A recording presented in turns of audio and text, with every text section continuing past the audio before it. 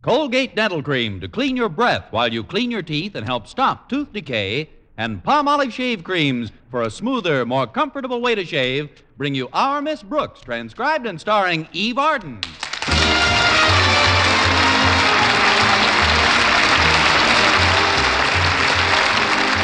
It's time once again for another comedy episode of Our Miss Brooks under the direction of Al Lewis.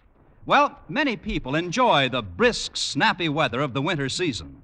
But our Miss Brooks, who teaches English at Madison High School, is definitely anti cold. In fact, at the last count, she was sleeping beneath 11 woolen blankets.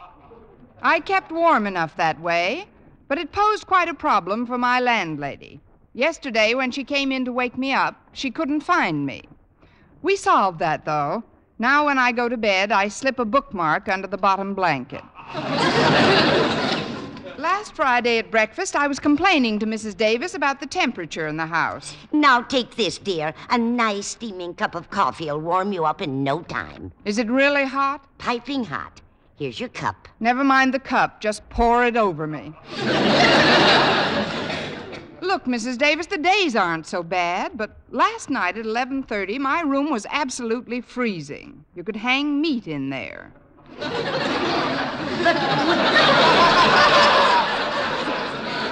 Connie, wouldn't that mess up the wallpaper? Besides, 11:30 seems awfully late for you to be up, Connie. You'd be a lot warmer if you got to bed earlier. I would have, but I had to finish some extra typing for Mr. Conklin. Our beloved principal has never been able to keep a secretary, you know. I know. I think it's a shame the way he takes advantage of you. This isn't school business he gives you, is it? No, most, mostly personal correspondence, reports, and things. And what does Mr. Conklin give you for this work? An occasional curt nod. Well, if I were you, I'd refuse to do any more for him. In fact, when you bring him this batch today, you ought to put your foot down. I tried putting my foot down before, Mrs. Davis, but it just didn't work. Why? What did Mr. Conklin do? He stepped on it.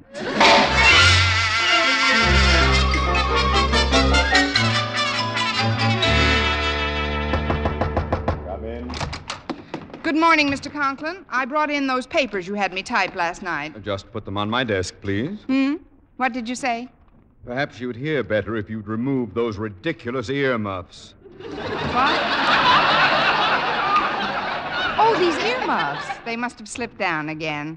It's terribly chilly in school this morning, Mr. Conklin. Nonsense. It's just pleasantly brisk. Now, about these papers. I. Why, Miss Brooks, you're familiar with the rules of this institution. Why are you smoking in school? I'm not smoking. That's my breath.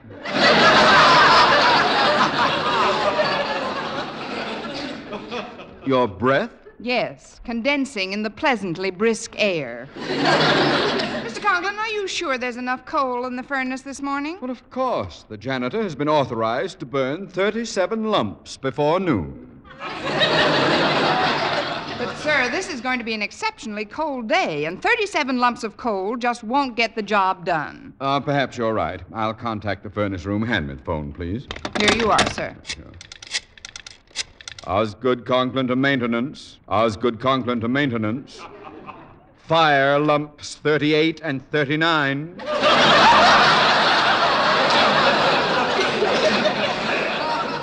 Fire lumps 38 and 39. That is all. Ah, that should do it.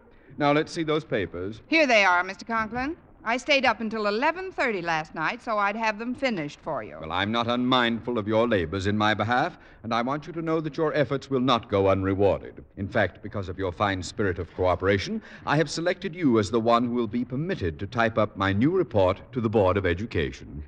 I'm sorry, Mr. Conklin, but teaching English is a full-time job for me, and I just can't assume any extra duties. But somebody's got to do it. Miss Enright just turned me down, too. As a matter of fact, she's the one who suggested you for this honor. Oh, she did, did she? Well, let me you tell you. You shouldn't speak harshly of your fellow English teacher, Miss Brooks. After all, Miss Enright is quite fond of you. Fond of me? Oh, she must be to pass such a nice compliment about you this morning. She said she considered you one of her oldest friends. She did? And then she said she likes you as well as some of her younger friends. Well, I can't force you to perform this trifling task for me, so you might as well run along to your classroom. Yes, sir, but as far as Miss Enright is concerned, I would Careful, like to. careful, Miss Brooks. You're speaking of a teacher who may soon be head of the English department. What? The position is still open, you know, and for months now I've been grooming Miss Enright. Good. That should make her coat nice and shiny. Miss Brooks, are you inferring that Miss Enright is a horse? If the shoe fits, nail it on her.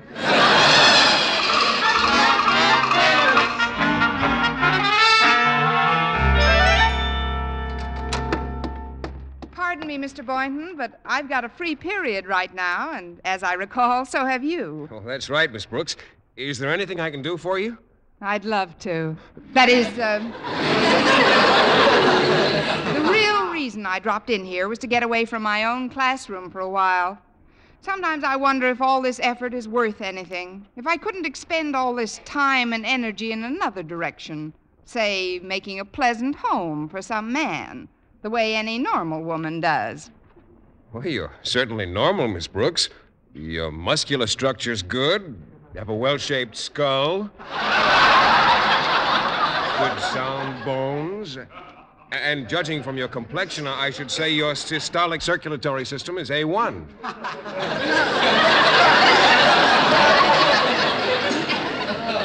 You romantic fool, you.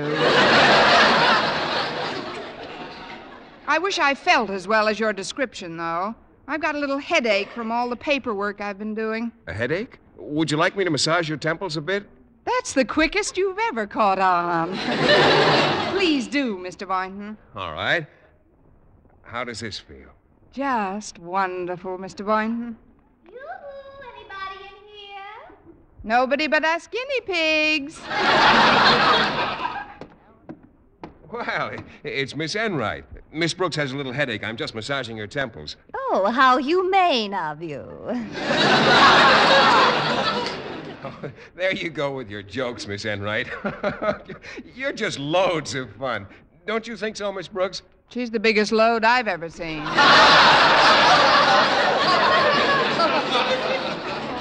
Well, Miss Brooks, I didn't expect to find you here. I just dropped in because I'm worn out from my morning classes. Sometimes I just don't know where I get the fuel to keep running. If you didn't race your engine so much, your tank wouldn't get so low. Yeah,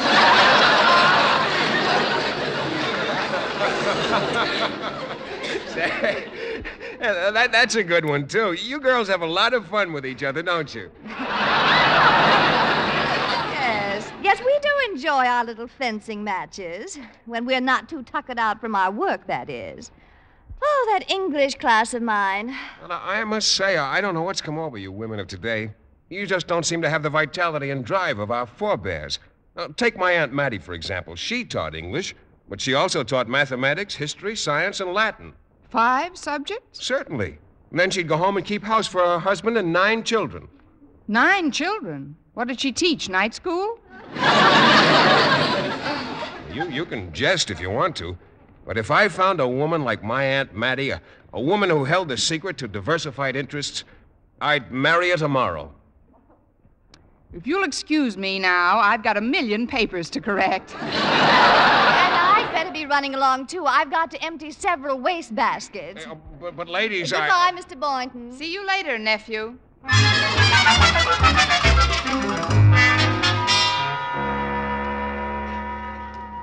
Uh, what is it you wanted to see me about, Miss Brooks? It's my work here at school, Mr. Conklin. I was wondering if you could give me another subject or two to teach.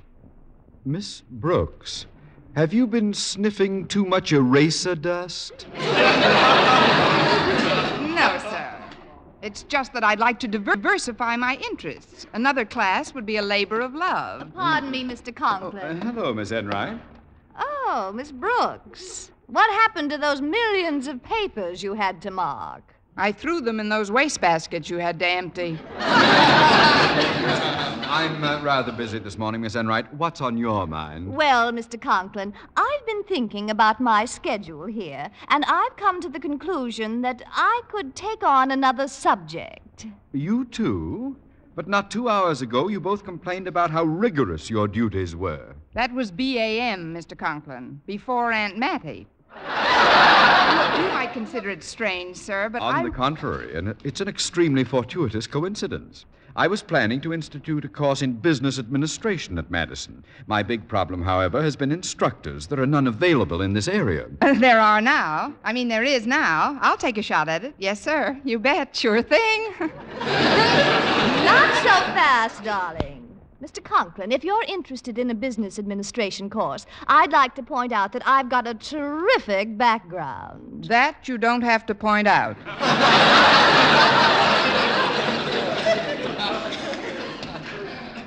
Maybe you ought to sell your bicycle.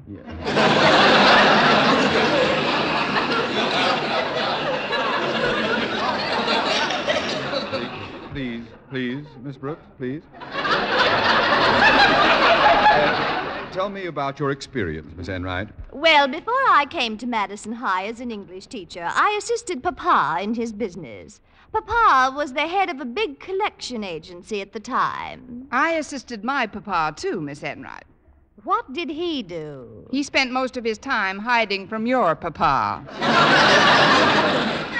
Please, Mr. Conklin, I'll admit I'm not overly familiar with the principles of business administration, but I'll study it thoroughly in the next few days. Uh, Miss Brooks, business administration is a three year course. How do you propose to learn it in a few short days? I'll only take a half hour for lunch. I'm afraid you have none of the qualifications for this position, Miss Brooks. Once again, it looks like Miss Enright has the inside track. Well, all I can say is don't bet too much on her nose. It might still be a photo finish.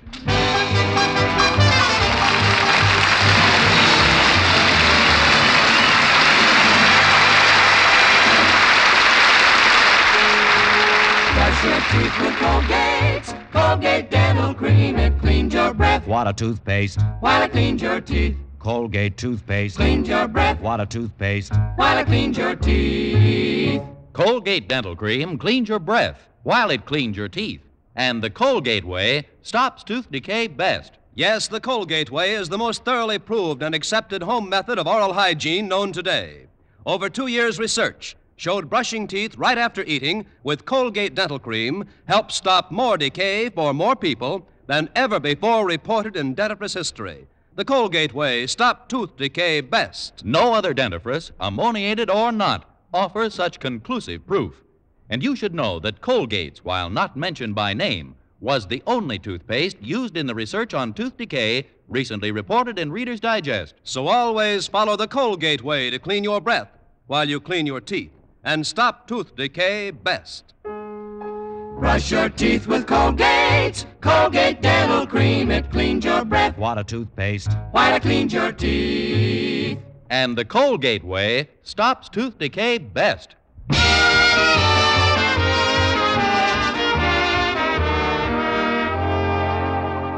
Well, Mr. Conklin seemed convinced that I didn't know a thing about business administration, and it looked like he was right.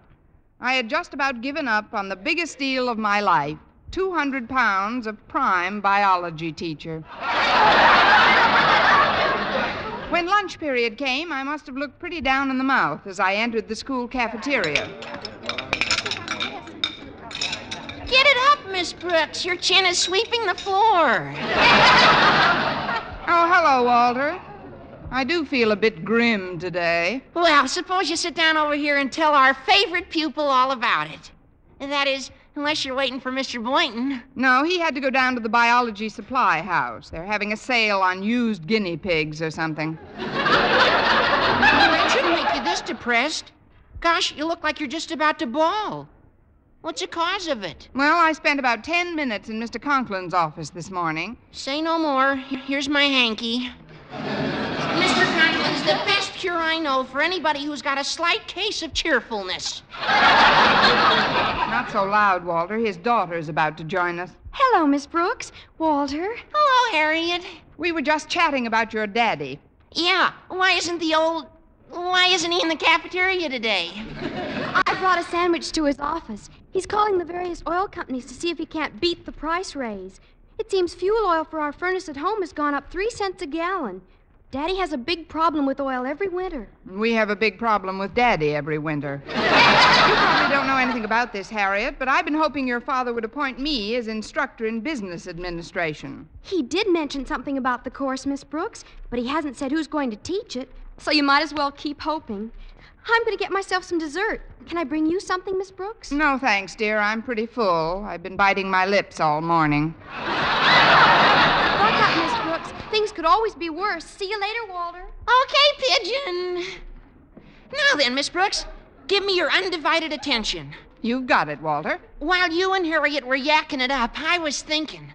If Mr. Conklin could get the oil he wants for his furnace not only three cents cheaper, but nine cents below the current price, and if this transaction was put over by you, he'd consider that you had a pretty good business head on your shoulders. Well, I guess he would Instead of thinking what he thinks now, that it's just a bunch of pretty auburn hair clinging to a vacant bulb.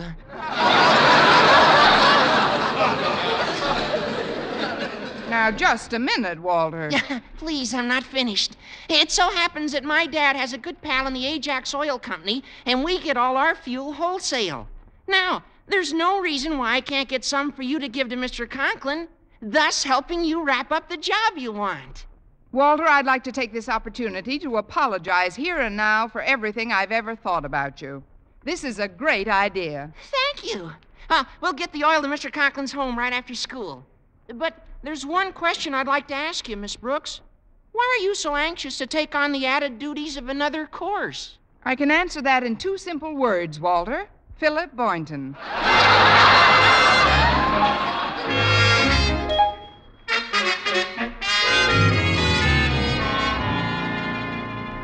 I'm glad you got home from school early today, Daddy. But why did we come down here to the basement? I wanted to show you our new furnace, Harriet. It was installed just ten minutes ago. But what's this pink ribbon tied on it for? And what's this card on top of it? It's a little surprise for your mother. Read the card, Harriet. Let's see. It says, To my loving wife, Martha, happy Lincoln's birthday, darling, from your Osgood. You bought Mother a furnace for Lincoln's birthday? Nothing's too good for your mother, Harriet. Besides, it's my way of making up for Christmas. I got the feeling that your mother was not too delighted with the gift she received from me at that time. I can't understand it. It was a lovely case of club soda. But, Daddy, Mother was expecting a fur coat this winter. Then she should be doubly pleased. A furnace is even warmer than a fur coat. Especially this brand new forced air furnace. It uses gas and a blower system, and all it requires is for me to flip open a vent, and presto, any room I'm in is full of hot air. No comment, Daddy.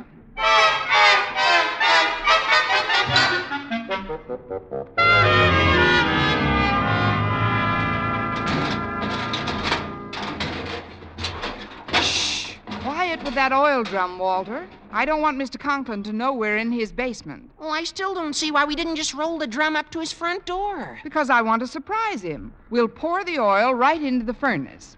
Then, when he can't understand how he's getting heat without having bought any oil, I'll flash this bill from the Ajax Company showing that I've beaten the current price by nine cents. I get it. And then when Mr. Conklin reacts according to plan, he'll put you in charge of the business administration course. Mr. Boynton will admire your energy and diversified talents. And before you know it, you'll be married and have nine children like his Aunt Mattie. Walter, have you been drinking this oil?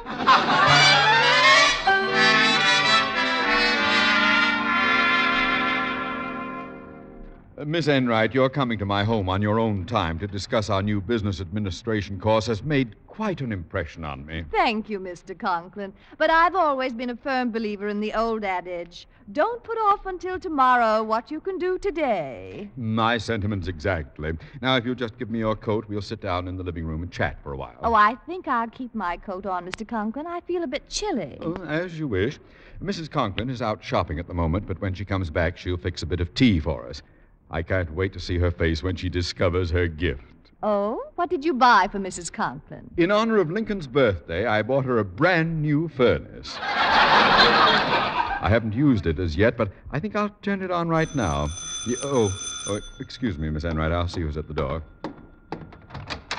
Oh, oh, it's you, Miss Brooks. Yes, sir. I came by to discuss that new teaching job. But I've just about decided on Miss Enright for that position, Miss Brooks. Please, sir, what I have to tell you may change that decision. I'll just take a few moments of your Uh, time. very well, then. Come in. Come in. Now, uh, please be brief, Miss Brooks. Miss Enright and I have many matters to discuss. Yes, sir. Oh, hello, Miss Enright. Hello, Miss Brooks. Did you come by to show me what a good loser you are? I'll deal with you when you slither into school tomorrow. right now, I've got some business with Mr. Conklin. You see, sir, I've always been a firm believer in the old adage don't put off until tomorrow what you can do today. A salty cliche, if I ever heard one. please come to the point. Yes, sir. Mr. Conklin, what would you say if I told you that I was going to put $8.95 into your pocket this minute? I'd say sit down, Miss Brooks. Mr. Conklin, I'm going to put $8.95 into your pocket this minute. Sit down, Miss Brooks. Thank you. now, in this transaction. Pardon me, but isn't it awfully chilly in here? For once, we're on the same side. It might be a very jolly thought to turn on your furnace, Mr. Conklin, and burn some nice, cheap oil. I don't have any oil in my furnace. However, if you ladies are cold, I should be happy to. Excuse me, Daddy, but I've got to talk to Miss Brooks privately right away. Will you kindly step out into the hall with me, Miss Brooks? Harriet, you know my house rules about disturbing adult conversations. It's terribly personal, Daddy, and it'll just take a second. Sounds important, Harriet. I'll be right back, Mr. Conklin. Meanwhile, I'm sure Miss Enright can regale you with some brilliant yakety yak. It's happened, Miss Brooks. Daddy's done the worst possible thing that could happen. He signed on for another year at Madison High? No, he bought Mother a furnace for a Lincoln's birthday gift. He must have gotten his rebate on the club soda bottles. You don't understand. I just saw Walter Denton in the basement. He was washing his hands in the sink down there. Sounds like a reasonable place. He told me you put oil in the furnace. That's right, to surprise your father. You'll surprise him, all right. He bought a gas operated forced air furnace. What? Oh, this is terrible. We've got to work fast, Harriet. You run down to the basement and tell Walter to get some tubing and siphon that oil out of the furnace at once. Okay, Miss Brooks. And you go on in and keep Daddy's mind occupied so he doesn't turn it on until I come back with the all clear. All right, Harriet. Now, for heaven's sakes, hurry. I'm dashing this minute. Good luck, Miss Brooks. I'll need it. Well, Miss Brooks, has my daughter concluded her personal business with you? Yes, sir. It was nothing, really. Uh, now then, about this business transaction of yours. Boy, it's sure hot in here. Hot? I'm terribly warm. Do your lips always turn blue when you're warm? I'm still shivering, Mr. Conklin. Well, I've got high blood pressure, so I'm usually warmer than the average person, but I'll turn the heat up if you want me to, Miss Enright. No! I mean, why turn on the heat? Too much heat isn't. isn't. healthy. Bless you, darling. I must have sat in a hot draft. now, about the $8.95 I saved you, Mr. Conklin. Oh, excuse me one moment. I'm going to see if my new thermostat is accurate. I want everything to be just right when Mrs. Conklin comes home. First, I'll open the large vent in this wall. Now we'll just set this thermostat for 76 degrees. That should get the furnace going rather quickly. Oh, it can't warm up quickly enough for me. It can for me. Excuse me, Mr. Conklin. Uh, where are you going, Miss Brooks? Into the coat closet. I have a roll of film that needs developing. Oh, stop that idiotic jabber and let's get down to cases now. Perhaps we should set the thermostat up to 80 or so. Then the furnace will really get going. Here, I'll do it. But, Miss It's Enright, all I. right, it's all right, Miss Brooks. I want to see how the new furnace reacts. Here, I'll turn it up to 85 degrees. Ah, yeah, now, now it's starting. Listen to the lovely sound of that nice hot air scurrying up the pipe.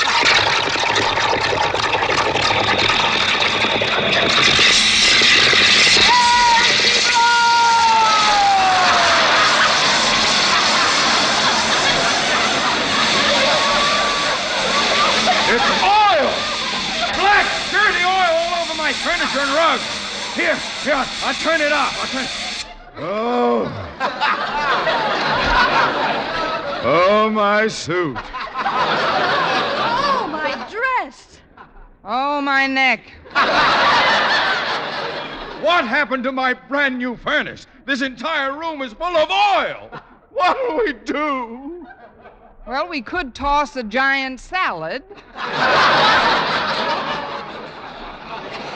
I guess the only practical suggestion is to clean it up. something must have gone wrong when I. Holy cow! What are you people doing in here? Rehearsing for a minstrel show? You guessed it, Walter. And I don't know about anybody else, but if the interlocutor will excuse me, I, for one, am going to pick up my tambourine and beat it.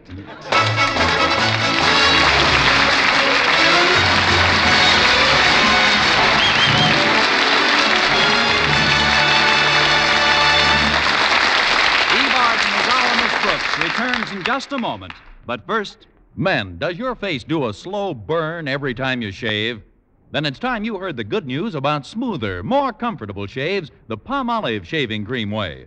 That's right, smoother, more comfortable shaves. and men, only Palmolive, no other shaving cream, offers you real proof, not just promises, of smoother, more comfortable shaves. For the new Palmolive shaving cream way gets beards really soft, and it provides a protective film that actually floats your razor's cutting edge. Yes, even in cold or hard water, you get a clean, close shave every time. Super smooth, super comfortable. Over 2,500 men tested Palmolive shaving creams thoroughly. They followed the simple directions on the tube, and no matter how they shaved before, three out of four reported beards easier to cut, less razor pull, more comfortable, actually smoother shaves. Get Palmolive shaving cream, lather or brushless. See if you don't get that super smooth, super comfortable, free and easy shave you've always wanted. You owe it to your face to try Palmolive lather or brushless. Remember, only Palmolive, no other shaving cream, offers you proof of smoother, more comfortable shaves. And now, once again, here is our Miss Brooks. Well, Walter Denton was just about to spill the beans to Mr. Conklin about my part in the great oil scandal when luckily I managed to catch his eye. And through some magical current that seemed to flow between us, his lips were suddenly sealed. Then I took my knuckles out of his mouth and we cleaned up the. After that, Walter took me home, and when we got to the door, he said, Gosh, Miss Brooks, do you think you may still get a crack at that business administration course? I don't know about the business, business administration, Walter, but if he finds out about today, it's a cinch we'll both get the business. This is Verne Smith reminding you to tune in next week to another Our Miss Brooks show, brought to you by Palmolive Shave Creams for a smoother, more comfortable way to shave, and Colgate Dental Cream to clean your breath while you clean your teeth and help stop tooth decay. Our Miss Brooks, starring Eve Arden, is produced by Larry Berns, written by Al Lewis, with the music of Wilbur Hatch.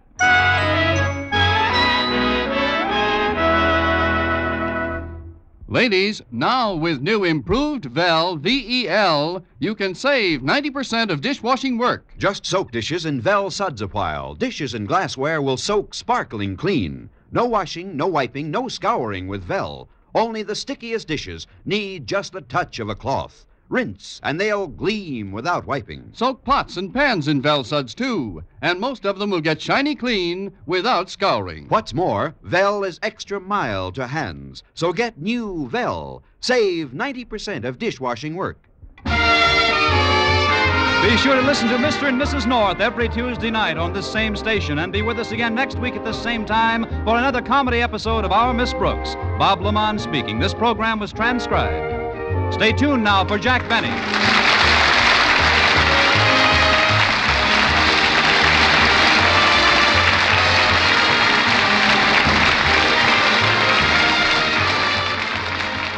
This is CBS, the Columbia Broadcasting System.